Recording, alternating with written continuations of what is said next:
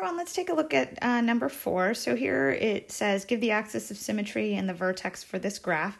Now, again, you could use your calculator, but I'm just going to go with the standard way to find it algebraically. So if I look at my function and I'll write it here 4x squared minus 16x plus 19. If I think about the quadratic formula, I would have a equaling 4, b equaling negative 16, and c equaling 19.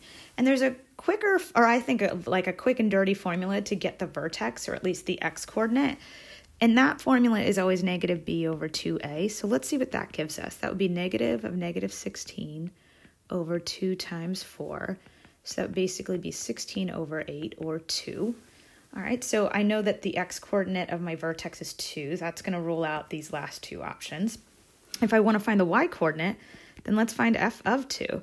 So this would be 4 times 2 squared minus 16 times 2 plus 19. So this would be 4 squared is 16. Nope, that's not true. 4, 2 squared is 4. 4 times 4 is 16.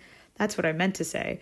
Um, 16 times 2 is 32 plus 19. All right, so we've got 16 minus 32, that would be negative 16. If I add 19 to it, I'm going to get 3. So then my vertex must be the ordered pair 2, 3. And that would make my axis of symmetry, it would have to be x equals 2 because it needs to match that x coordinate. So that would get me A. All right. Thanks so much, everyone. Bye.